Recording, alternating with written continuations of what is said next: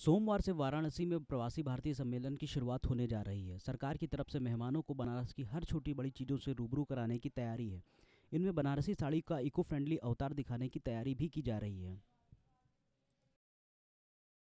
Gallery है। मैंने इसको एकदम इको फ्रेंडली हैंडलूम गैलरी की तरह बनाया है। आ, हमने बम्बू जो यूज़ करा हुआ है वो डंडी बम्बू है जो कानपुर से आया हुआ है जो महात्मा गांधी ने डांडी मार्च में इस्तेमाल किया था खादी इस्तेमाल किया जो यहाँ का पहला वोवन फैब्रिक है इंडिया का। और ये गैलरी सब चीज़ टेक्सटाइल्स के बारे में बात करती है कि बनारस की टेक्सटाइल हिस्ट्री कितनी रिच है कितनी पुरानी और अभी भी कितनी रेलिवेंट है।